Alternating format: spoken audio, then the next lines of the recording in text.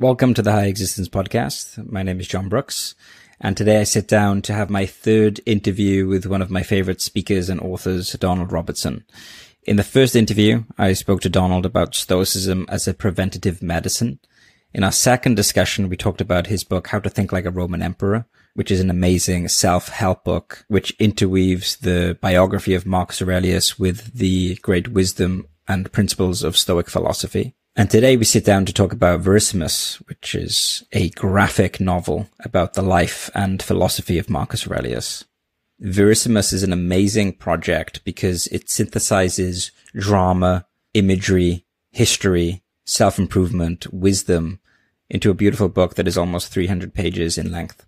The book comes out July the 12th and I'm very excited on a personal level to get my hands on a copy. I own all of Donald's previous books and find great value in reading them and rereading them. And with this said, I hope you enjoyed the following episode where I sit down and talk with Donald about Verissimus and the process that led to its creation, as well as the life of Marcus Aurelius.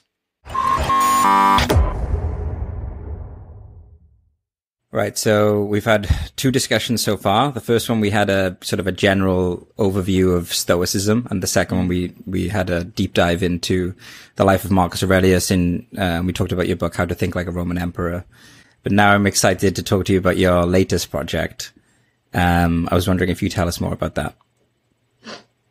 Well, the book that I've got coming out is called Verissimus, and it's a graphic novel about the life and philosophy of Marcus Aurelius.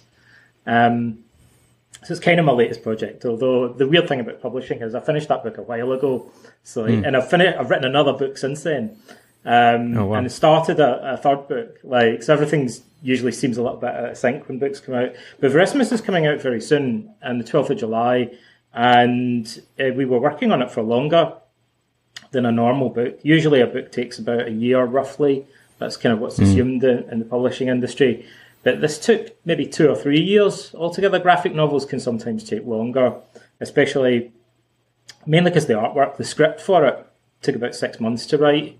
Um, but uh, because it's quite a big book, it's about 230 or 40 pages, it's full colour, um, mm. nine panel pages, so there's a lot of artwork a lot of artwork. And we wanted, we could have done a graphic novel that was just a bunch of matchstick men uh, talking about, like, which now seems quite, kind of like an appealing idea in retrospect.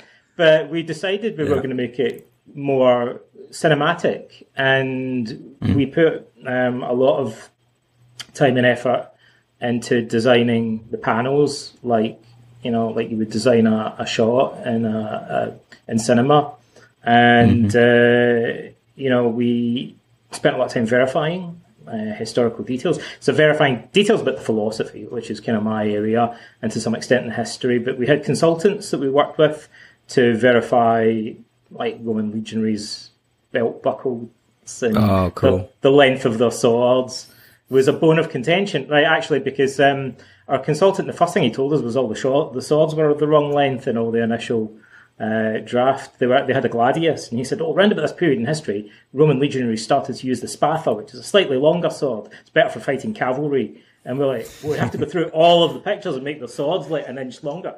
So we um, we did a lot of that kind of stuff and verifying the furniture, uh, the landscapes. We did Zé uh, Zé Fragas, uh, my illustrator. He's Portuguese, and he drew a Carnuntum with hills and stuff. And actually, it was the I went to Carnuntum in Austria for a week to shoot video and mm. interview the uh, head of archaeological research there and the, the uh, head of the museums.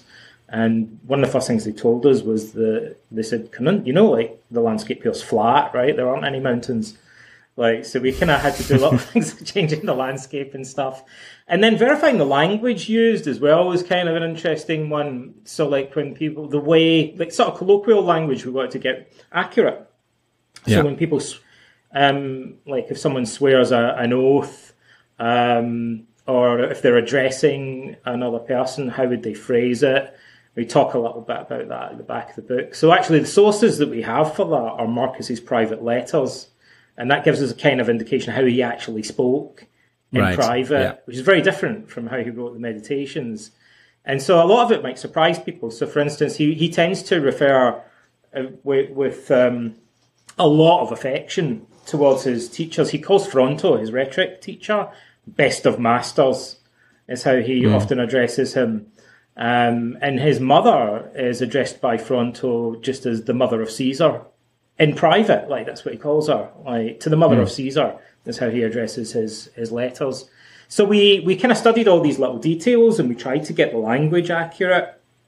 Took two or three years uh, to finish wow. the whole thing, and I, I it, it cured my perfectionism because uh, I realised it's completely impossible to do unless you've got a time machine uh, to have a, a, completely historically accurate uh, second century Roman graphic novel. But we tried our best um, wow. to get as close as we could.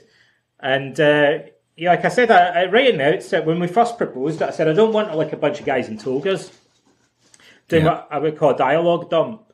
So it would be easy. I think some graphic novels are written where the the script is just like like he said this and he said that, and then the artist just kind of draws guys talking or whatever, and like there's not a lot of description of action. Our script yeah. ha- goes into a lot of detail, um, describing the the visual landscape and the action that's taking place. And whenever there's philosophy, we always tried to tie it into the action, and we used tricks of the trade even to to kind of push that further. So, for example, in situations where we've got people talking about stuff that doesn't relate to action, what we do is have parallel scenes unfolding visually. I'll give you an example. So, like Marcus mm. is uh, talking um, uh, like about something that isn't directly related to action. So, rather than just having him kind of walking along the street or in his palace, we set it uh, at the Circus Maximus, and there's a chariot race going on in the background. So we imagine he's having this conversation while he's simultaneously watching a chariot race, and then that allows us mm. to hmm. have kind of exciting, like a chariot crashing and action unfolding that kind of symbolically parallels the stuff that's happening in the conversation. Otherwise, we just have like two talking heads, like in a boring background, right? right? So we we use these tricks of the trade to try and keep the visual they keep the action going um, and like uh, and make full use of the, the visual medium. Yeah, wow. I I didn't for some reason I didn't even think about the fact that it had to be accurate historically. You know, that's like a whole other dimension to the project, right? Like, I guess it didn't have to be, but we right. we just decided that we were going to try, and you know, so I went to the stuff in it that nobody. There's like I guess Easter eggs in it, or so, the stuff in it in that book that probably nobody except me would notice. Um, but right. like for example, we'll depict he Marcus has a dream about the Temple of Apollo at Delphi, like and you know like even the I sent Ze uh, photographs of the rocks that are actually there, like so the the shape of the rocks matches like the actual landscape uh, at Delphi. Wow. So I, we went, I went to these locations and researched them, and the museums as well.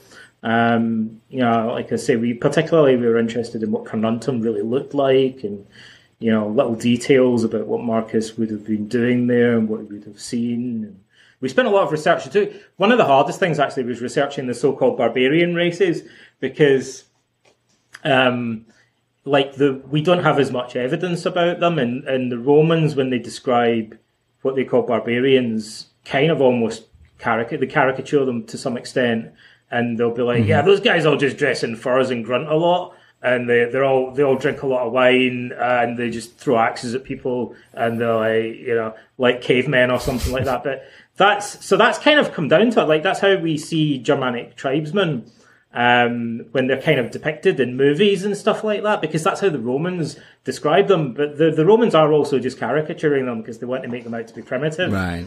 Like, so we kind of got to strike a balance between, to some extent, taking what the Romans say seriously because they were actually there and they saw them, but at the same time trying to kind of see through some of the propaganda and imagining ah, yes. a little bit more what, what these guys would actually look like.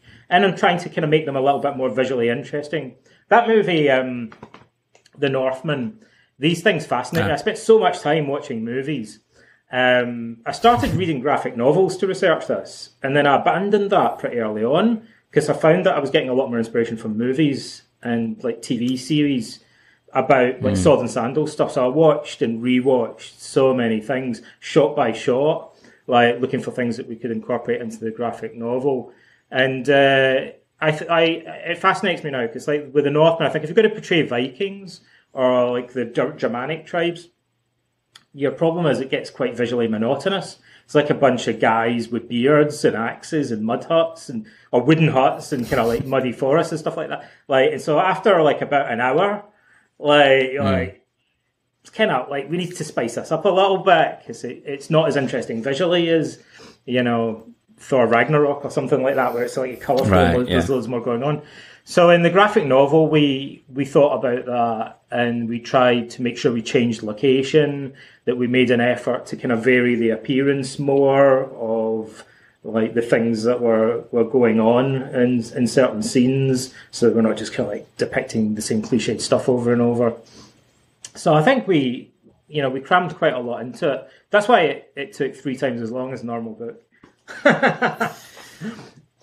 So yeah, I mean, one of the things I really love about the books that you've written. So if we if we just take How to Think Like a Roman Emperor, the the the, the experience of reading that is felt very e- like easy, like enjoyable. Like you could just go from chapter to chapter, and you felt like you were learning.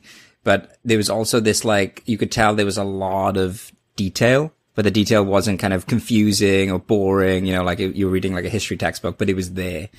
Um, so that's one thing. So I can see why you would have been like really interested to get the the details right for, for the graphic novel. It starts I'm wondering off, what it starts off confusing and boring, and then there's a lot of editing right. involved to make it not less confusing and boring. Right. right.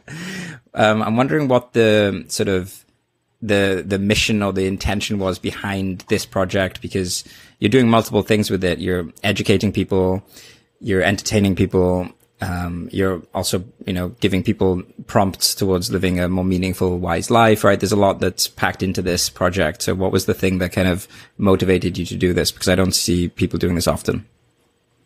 To do a graphic novel specifically. Yeah. Yeah. Yeah. Um, there's really a kind of like a bunch of things that led towards it happening. I noticed that because people have asked me this question before, and I think I've given different answers to the question because there, were, there were kind of like there were different reasons why we wound up doing this and some of it was chance and some of it was design and so in part it's like um, one answer is that i've been writing about stoicism for like since before it was cool like people say i was into this band mm. before they were cool like when i first started researching stoicism literally everyone told me it was this obscure thing that no one was interested in and like why are you wasting wow. your time on it and stuff like that because it wasn't that long. It was like about 25 years ago, but there were very few books on it, and it was considered a real niche subject. And then suddenly it exploded and became really popular, and Ryan Holiday's books came out, and you know, Massimo Pigliucci's books came out, and, and suddenly everyone was talking about Stoicism. But it wasn't like that uh, a while back. And, uh, and so I'd already written books about Stoicism and talked about Stoicism, and publishers were like, could you like write an introduction to Stoicism? And I was like, I've already written one. That's the problem. like I feel like I've written several, like, you know, so I can't just yeah. keep writing the same book, much as I'd love to. Like, you know, it gets a bit repetitive after a while. So I thought, how can I do an introduction to Stoicism that's different? And th- that was how I came to write How to Think Roman Emperor. Like I thought I'll make it more about the the character of one of the main historical figures. And then like I thought, well, we could write uh, a book about Stoicism that's kind of designed as an introduction for people. That's what everybody always wants. Like, how do we get into the subject? But why not make it a graphic novel? And then it's a completely different medium. Like, it's not just like yet another kind of uh, basic idiot's guide to Stoicism or whatever, but like a whole different mm. way of introducing people to the subject. And also, like, there, I know there are people who want to get into the subject who maybe don't really read philosophy or self-help books um, I realised that weirdly, in part through working with the military, like I've done a lot of stuff with the military over the past few years. I, I went to Quantico and spoke to the US Marine Corps University. I, I gave a, a, workshop for Fort Leonard Wood, the officers there. We ran a conference for the military. Um, and it was probably through conversations with those guys, they were saying, like, you know, like some of the guys in, in the Marines weren't really into reading self help books and history, but they kind of like Gladiator and 300, and they kind of like the idea of Stoicism. Um, hmm. And movies and graphic novels and stuff are like more valuable in terms of reaching like people. When you read books about self help, you kind of assume that everyone else reads this stuff, but a lot of people yeah. aren't really, you know, aren't really into wading through classics, but they they might benefit a lot from the ideas. So we wanted to do something that was going to reach a different audience. And it's funny because people keep saying to me, you know, they, they, want to buy a copy for their kids. And I'm like, well, I would, it's kind of PG. Like, there's nudity, torture, like, there's a lot of death, and guys talking about coming to terms with their own mortality in a graveyard and things like that, and supernatural horror, even. Like, so I'm like, I don't know if I'd give it to little kids. Like, it's not like, you know, um, Harry Potter or sort of whatever. I mean, Harry Potter's kind of dark, I guess. But the, mm. uh, I think it will reach a young, maybe teenagers or, you know, like a slightly yeah. different age group. Like, although it, is, it does surprise me how many people assume that because it's a comic, it must be for little kids or something. No, it's uh, it's meant for adults, but probably it would reach a slightly different group of adults. Well, I, thinking about it now, I mean, I know there's a lot of talk about like how do you teach young children stoicism and things like that, but I mean, the people who probably need stoicism the most are teenagers, you know, because they go through this mm-hmm. intense shift, like yeah. physiologically, right? And like even if they've had like a really stable childhood, now things are different and there's a lot of choices being made. So yeah, damn, if I could have read something like this when I was 13, 14, 15, you know, could have made a big difference. I would have read this when I was a teenager. I would have thought it was awesome. So maybe I think often when you're an author, you can't just write stuff that's entirely for yourself. Like you know, you do you've got mm. editors and things like that. But like uh, there's a balancing act to be done. But to some extent, you know, you're you're writing things that you think are cool and that you would have read, like if you were in that position. I remember, like one of the things at the back of my mind was um, when the movie Gladiator came out, which is a long time ago now. It's like 20 mm-hmm. odd years ago now. Wow. Um, a lot of people got into Stoicism because Richard Harris plays Marcus Aurelius in the first act. And I knew guys that said they didn't read philosophy, but after they watched that movie, they went and looked up Marcus Aurelius on Wikipedia or whatever, and they stumbled across the meditations, and then they kind of got into it. Um, and I always thought, I kind of wish there was more Stoicism in Gladiator. Like, there's kind of one or two fleeting references to it, more than most people probably realise, actually. Because apparently Russell Crowe's really into uh, yeah. meditations, and he kind of wanted there to be more references to it, but there ended there ended up just being like one or two kind of fleeting ones. So at the back of my mind, I was always thinking, wouldn't it be cool if there was just like a bit more stoicism mentioned in Gladiator? I and this was, I guess, my chance unconsciously. I didn't realize until we were towards the end of doing this. I thought, oh, I guess in a sense this is like a prequel to Gladiator. Like, kind of ends round about where the movie Gladiator begins. Um, but this is this graphic novel has way more um, Stoic philosophy in it, I think, than than people would expect. It's got both. Like I guess people would expect it to maybe just be like an action thing, or they'd expect a lot of philosophy but not more, much action. But really, it's got a lot of both crammed into it, which was took a lot more work than you would perhaps assume at first. We spent ages like trying to figure out ways to weave the philosophy into the the action that was one of the, the biggest challenges that we set for ourselves. How did you manage to kind of find the balance between sort of drama, you know, and kind of like giving people like a, a story that kind of, you, you know, you might need to kind of be a bit flexible with the historical stuff versus like giving people just like a completely accurate step by step kind of like this is how events unfolded or did you kind of do both at the same time? Like how did you manage that? I i know that this is going to surprise people um, but the the version of marcus's life that we tell in that graphic novel is basically pretty faithful to what mm. comes down to us in the roman histories. Now that said obviously, I would take it for granted that the Roman histories aren't completely reliable, right? Um, so what our main source, the Historia Augusta, is kind of notoriously unreliable. And it, it's to some extent a sort of literary work anyway. It's no coincidence. And in fact, it does us a favour. I guess this is also something that's going on in the background here. That we have several, we have three main sources for Marcus Aurelius's life in, in terms of Roman histories Cassius Dio, the Historia Augusta, and Herodian. The Historia Augusta is the main one. The Historia Augusta portrays the other people surrounding Marcus as kind of grotesque, caricature figures, right?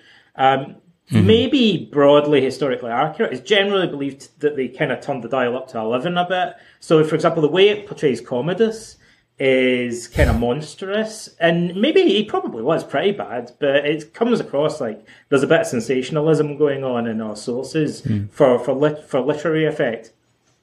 But that also kind of works in our favour um, in terms of dramatizing the story and making it into something like a graphic novel. So it's surprisingly easy. One thing that, that's really striking is that when we read the meditations, and there are reasons for this, but when we read the meditations, Mar- we kind of imagine Marcus in a room on his own by lamplight, you know, mm-hmm. kind of writing down these musings. We don't kind of envisage that he's surrounded by this complete kind of clown show of uh, like crazy um, people that he was, you know, it's like the, you know, he's got this ensemble cast of, uh, you know, strange people that uh, mm. his that are very colourful, very different from one another.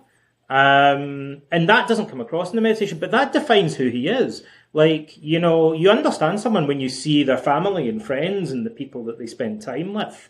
We don't get that from the meditations. Although in book one he talks about them, it doesn't really kind of allow us to visualize what they were like. The Roman histories paint this picture of them as being a really varied, really colorful bunch of people. Um, and that casts Marcus in a completely different light. As soon as we, he's like a, it's like a jigsaw piece. And when we slot him into the middle of the jigsaw puzzle, suddenly all the stuff he's saying in the meditations starts to kind of take on a, a, slightly different meaning. So, first of all, on the one hand, we're pretty faithful to the historical sources, and, and not just like what it says there, but also archaeological evidence, you know, stuff that we know of from broader research about the period in history, about Roman culture in general, like a whole wealth of sources that we have to draw on really, you know, like inscriptions and numismatic evidence, like uh, like coins and stuff, like every like intense, like a lot of stuff. Yeah. Um, but you know, even really obscure sources that we, we you know we, we, have to look at to try and piece together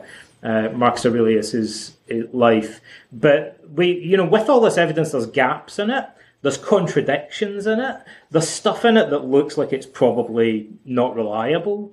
You know, so this is the mess that historians have to sift through, right? And you have to make a decision about if the histories say something, do you, in an academic history, you would say, okay, the Historia Augusta says this, but we're not really sure we believe it. Like, or the Historia Augusta says this, but Cassius Dio says something slightly different. Like, and then you, in a, a, a boring academic history, you can kind of yeah. qualify everything. In a graphic novel or a movie, you have to pick an interpretation, like, uh, and stick with it. Now, there is one way around that um, which is that where there's gossip reported, so one of the weird things is that Roman histories often report gossip, and they'll tell us mm-hmm. it's gossip or propaganda or whatever. Um, and then in the, a graphic novel or a movie, you, you think, well, what can we do with this? Because it seems like it's probably not true, but it's kind of interesting and it, it's a colourful story. But what we figured out is that we can include stuff like that as long as we actually portray it as gossip. You know, so there's scenes where we just have people gossiping about Marcus and Faustina, for example. And actually, it's good, it's quite liberating because then you can go, okay, we get it now. Like that tells us something about Marcus that people would be saying these things about him.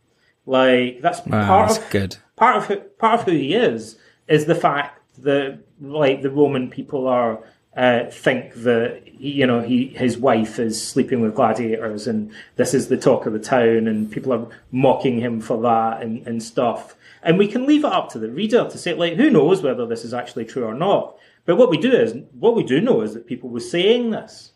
Like so this is the environment in which he's living. And actually that's more interesting in a way because if you are it becomes pretty obvious. Like why would people say this stuff?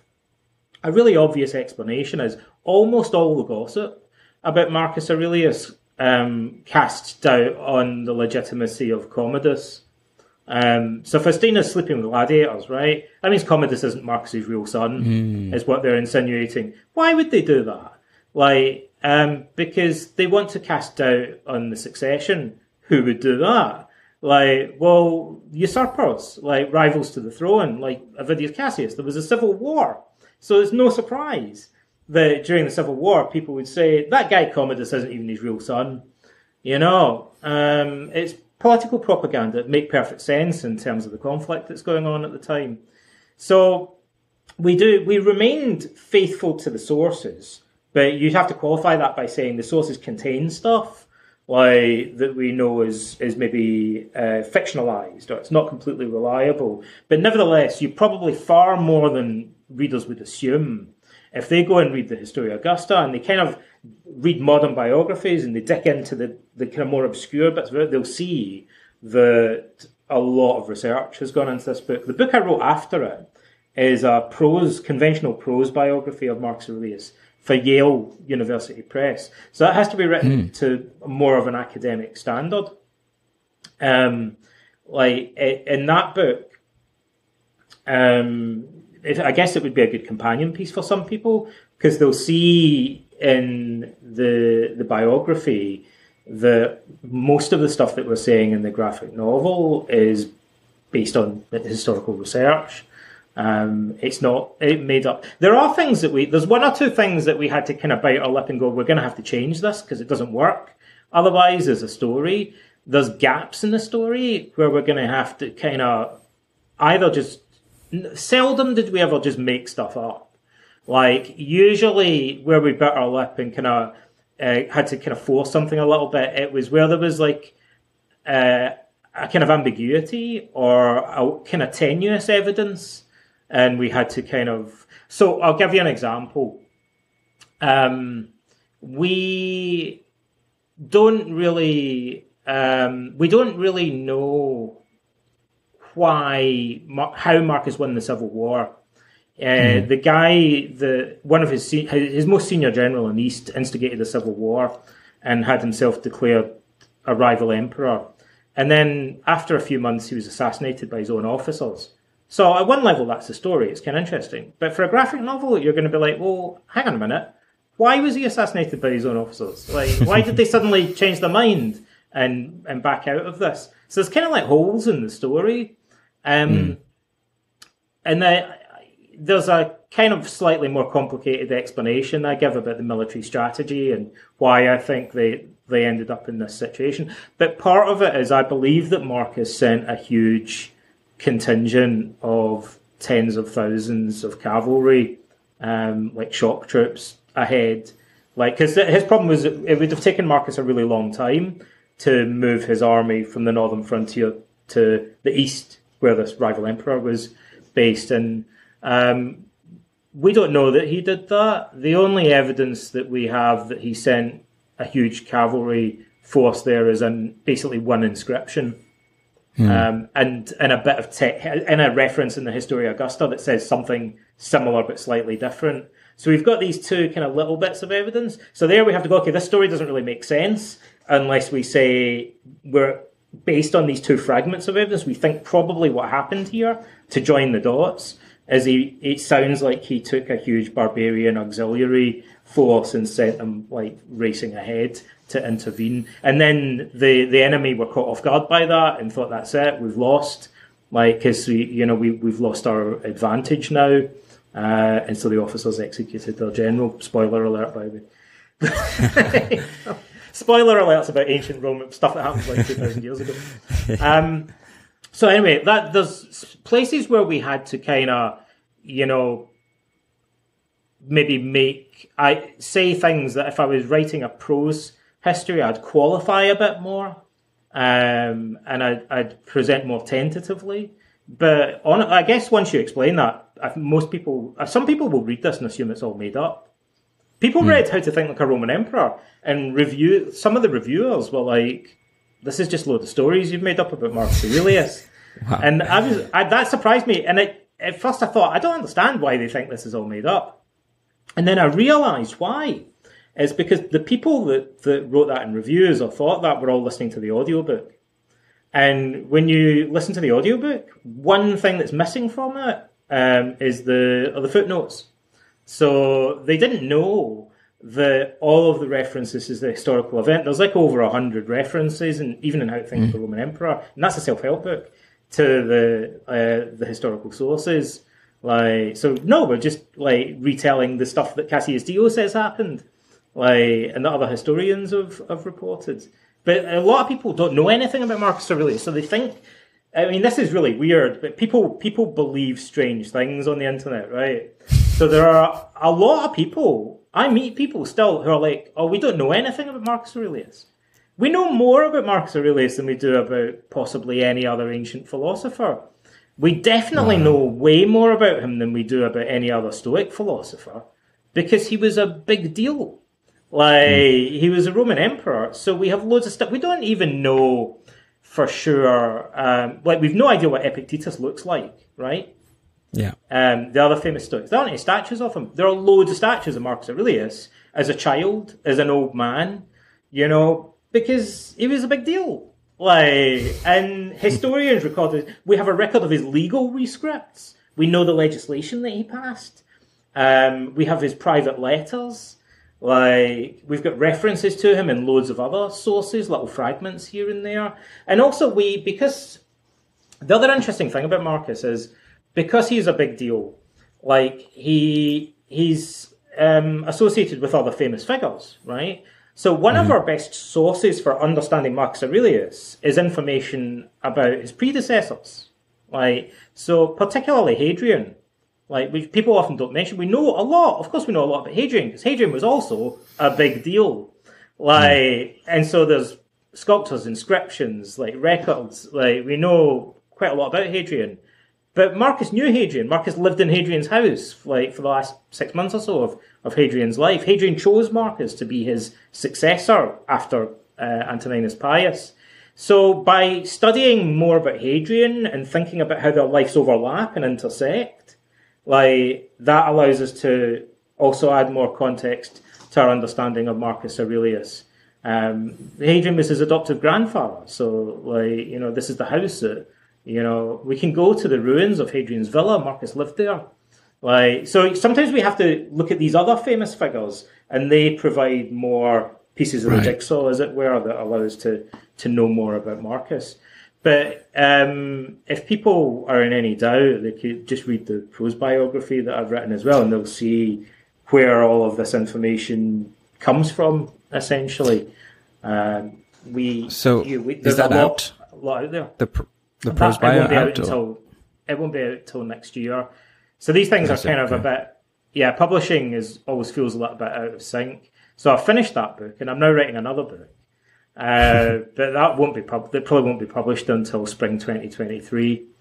Um, but there are many bio. The other weird thing is when people say they, they don't think we know anything about Marcus Aurelius, there are like more biographies already of Marcus Aurelius than of I don't know like any other ancient philosopher. I guess there's loads of biographies of Marcus Aurelius. Um, Frank McLynn's is the most famous one. Anthony Birley's is the best one.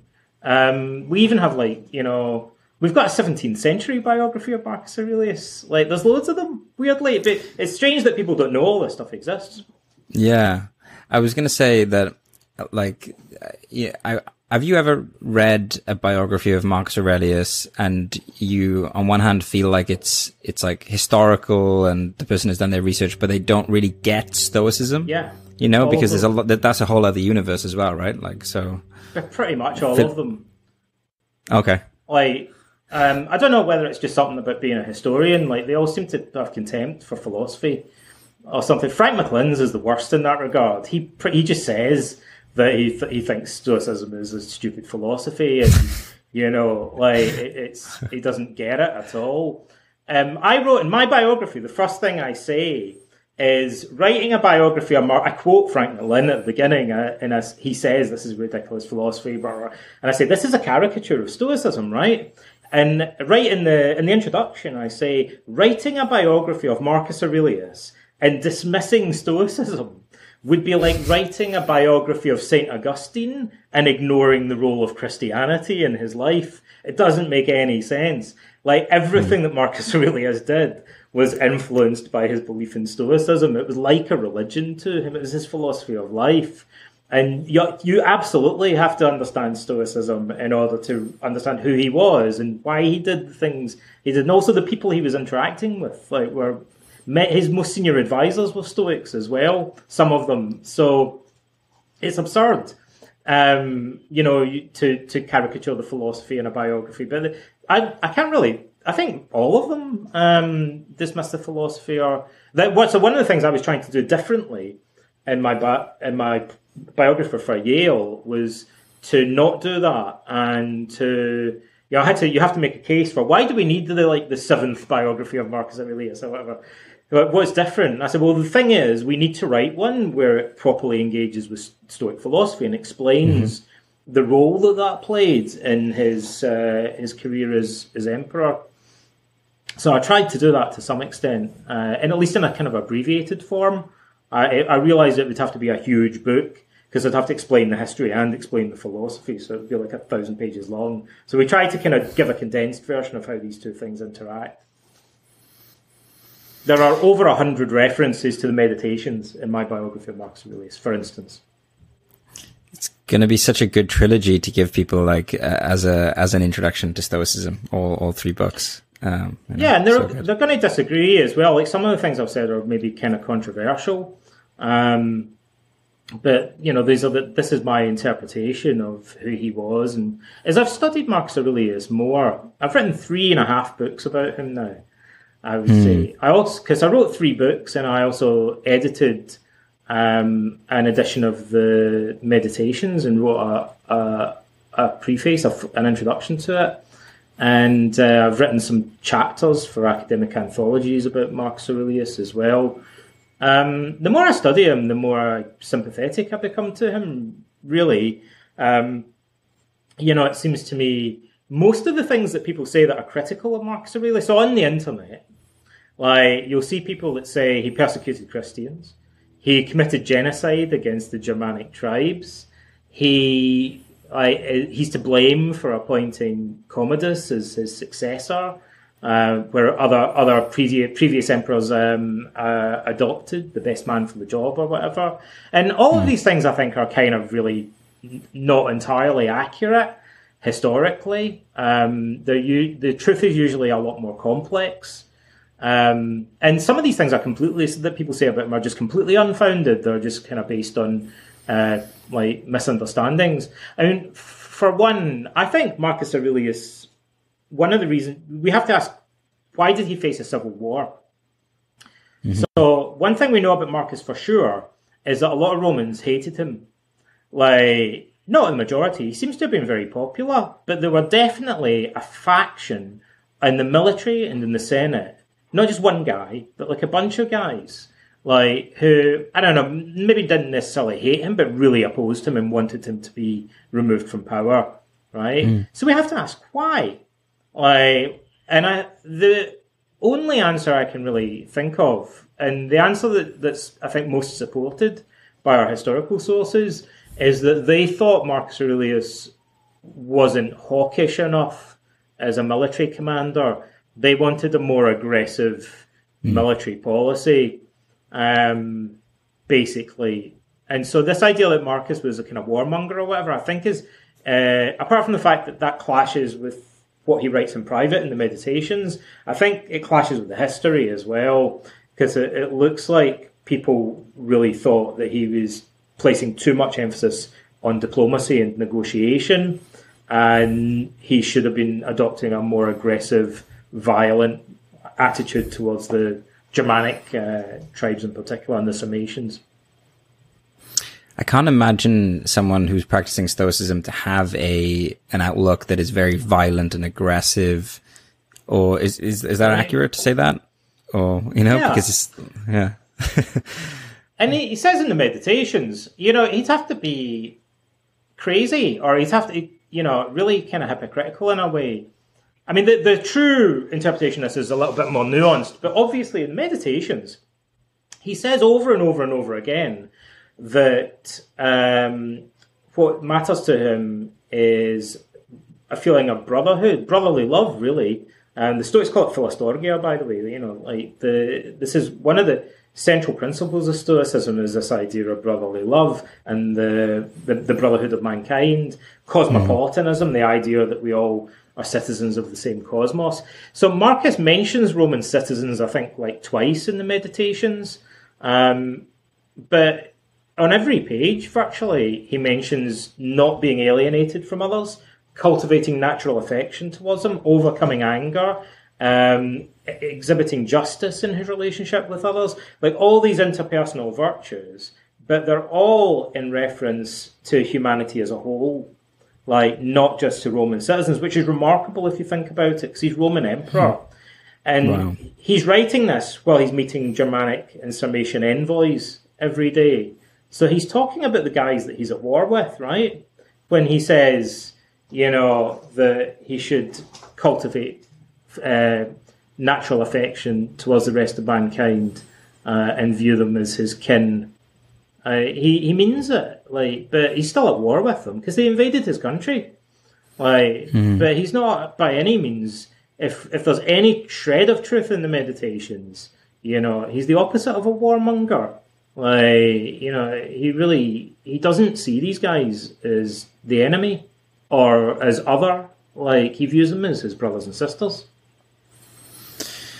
Yeah, yeah, that's um, like I think that um, one of the most inspiring things for me, at least reading the meditations, is this perfect balance that I see between strength of character and compassion, you know, because that's a really difficult thing to kind of balance. A lot of people are just too agreeable, too compassionate and pushovers, but you see this incredibly powerful, strong human being who's also like going out of his way to practice tolerance and forgiveness and, you know, kind of seeing how he yeah. relates to people.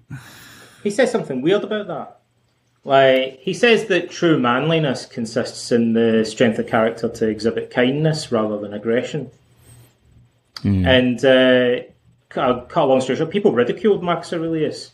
Um, the supposedly the, the general that instigated the civil war against him called him a philosophical old woman. Like, and so they thought he was too soft. And but Marcus responds to that and he says, "No, you're the angry people are weak people.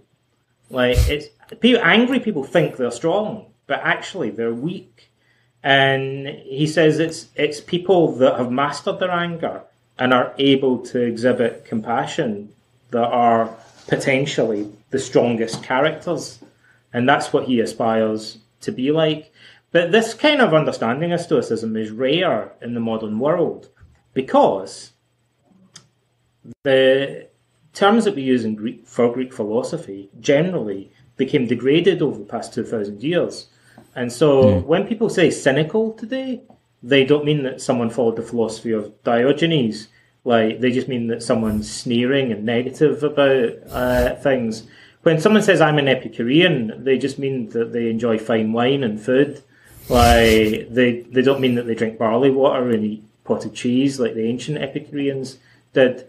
Academic, uh, sophist, skeptic, like all these terms mean something slightly different now, something much cruder and more simplistic than what they mm. originally meant. And so Stoic now means unemotional when we write it with a lowercase s. And in psychological research, it's commonly used as a term to denote um, toxic, maladaptive ways of emotional coping. There, are large volumes of research showing that lowercase stoicism, which involves suppressing emotions, um, is like definitely not a good thing. Like, it, and it, again, like the weird thing is, people who suppress their emotions believe that they're being strong, but they're more prone to mental illness. So they're actually very vulnerable, weak people as a result mm. of this maladaptive coping strategy. Like, of course, they believe that they're strong. They're actually shown to be weak. Like, it's a it's a, a, fragility, a, a, weakness, like that it causes in us when we can't handle our emotions and we disguise them and we conceal them and we try to suppress them. But that's not what ancient Stoicism means. It's completely the opposite. In fact, ancient Stoicism is the inspiration for cognitive therapy, which there are huge volumes of research showing is good for us. Like, so on the one hand, we've got this thing that's bad for mental health. On the other hand, we've got this thing that we know is good for mental health, and like they're both kind of associated with Stoicism, like but they're mm. opposites. It reminds me of this quote from William Blake, the poet, who said, "We both read the Bible day and night, but you read black, where I read white." So a lot of people misconstrue Stoicism and turn it into something that's almost it's the complete opposite. And part of that is that they completely ignore the reference to social virtue in ancient Stoicism. Stoicism was the inspiration to a large extent for early Christian ethics. Hmm. So no one says that early Christianity was self-centered and non-emotional. It's it's a little bit brotherly love and forgiveness, obviously, right? Like supposedly, and yeah, but that that's all inherent. That part of it is all in Stoicism. Like it, it very much seems to be inherited. The Stoics use very similar language. Um, the Stoics are in the New Testament. Like, by the way, it's a bit trivia for you.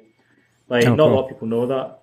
In the Acts of the Apostles, they're actually mentioned. St. Paul goes to Athens and he gives a speech at the a sermon at the Areopagus at the foot of the Acropolis, and it says that he was talking to Stoic and Epicurean philosophers there, and he actually quotes a Stoic author called Aratus to them, who was a, an ancient poet, he was a student of Zeno, the founder of Stoicism.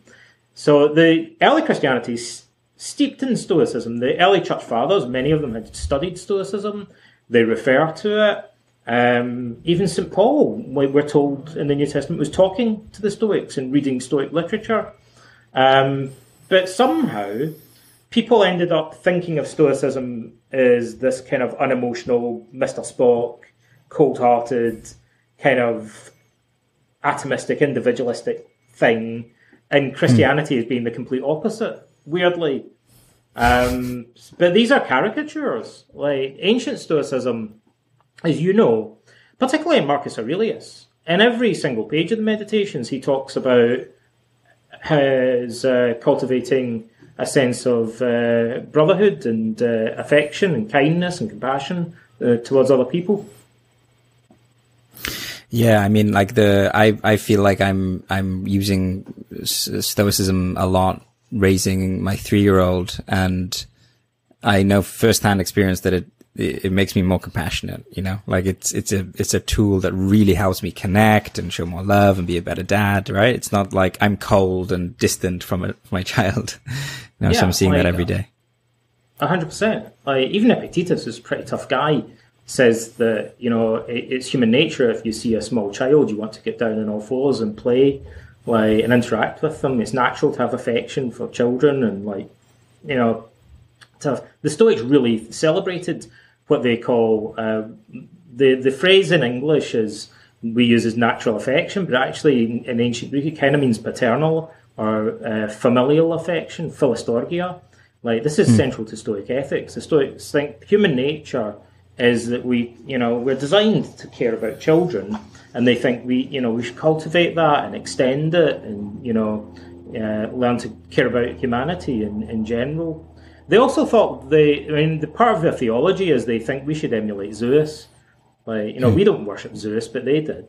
And they thought the, the goal for them was to become more Zeus like. And they said, well, Zeus is the god of hospitality and friendship, uh, among other things in ancient Greece. And the Stoics took that aspect of them very seriously because they thought of Zeus as being the father of mankind.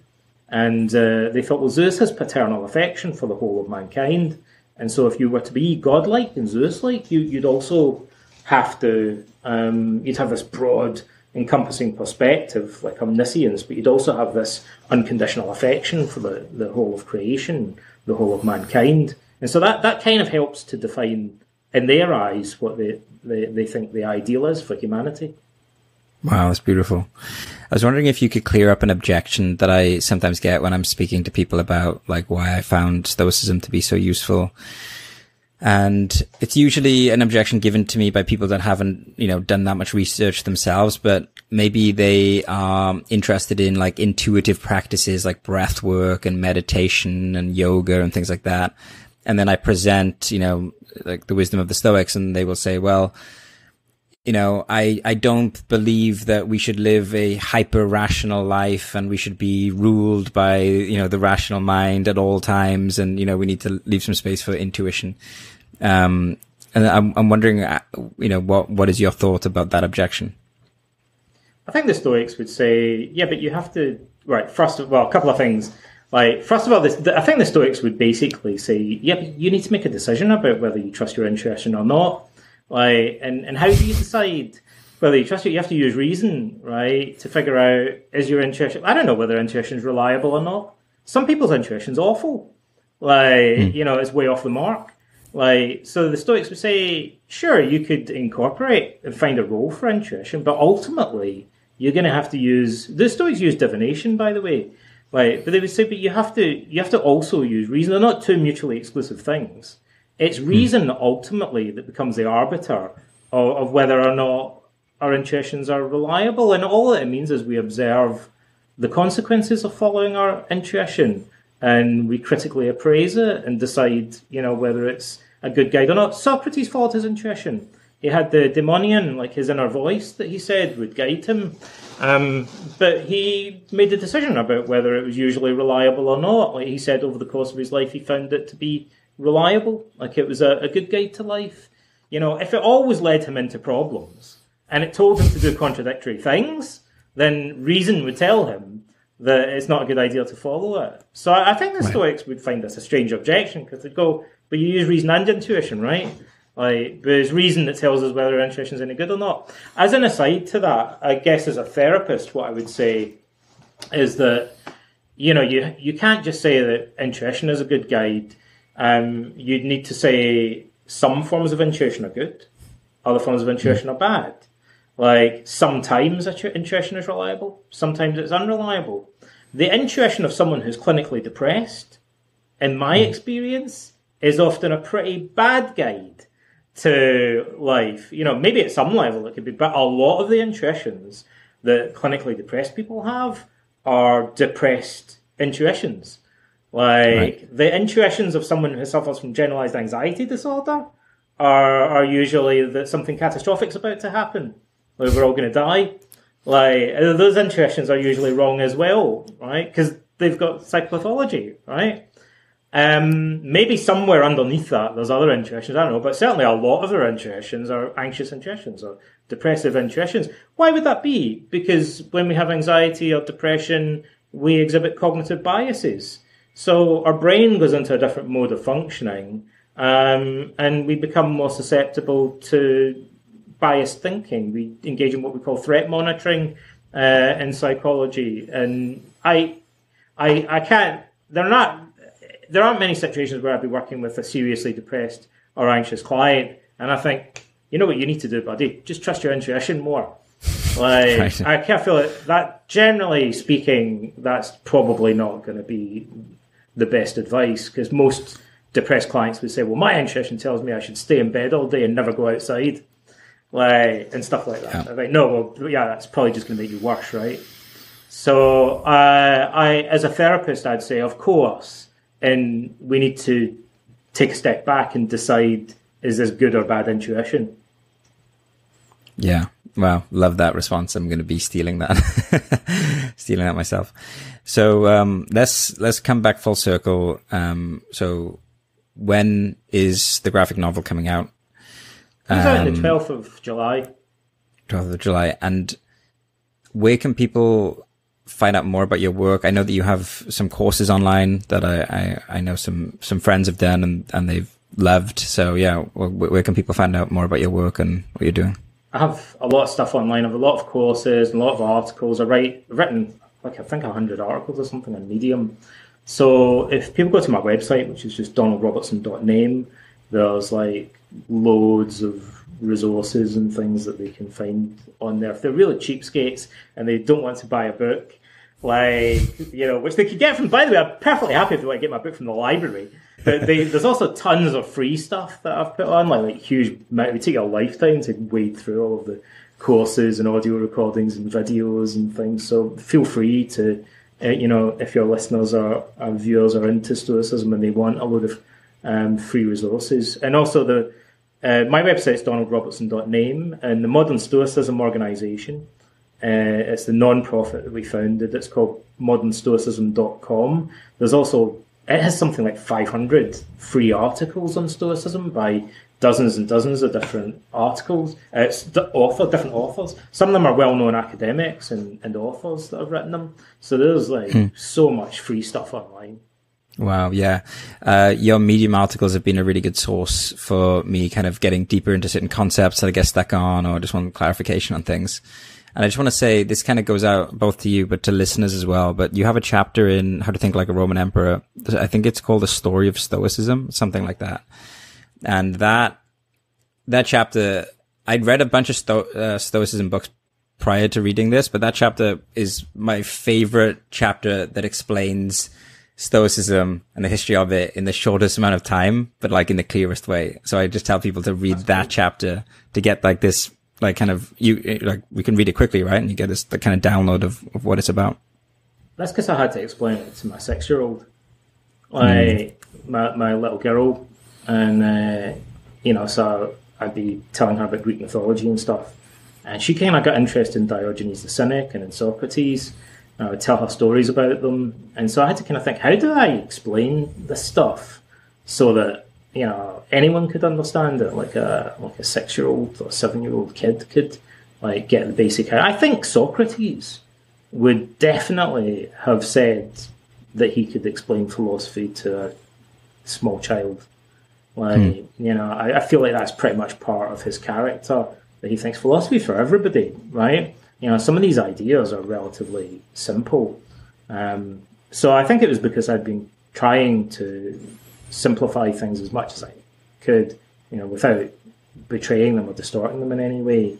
And, and sometimes it helps to tell stories and anecdotes. Like, that can be an easier way to get the get the ideas across and give some examples and things. Um, but I think the graphic novel hopefully will will also put a human face on Stoicism a bit and uh, yes. allow allow people you maybe that that were confused by some of the academic text to, to to be able to visualize more what Stoicism would look like in practice. Amazing. Uh, well, thank you for the conversation. And uh,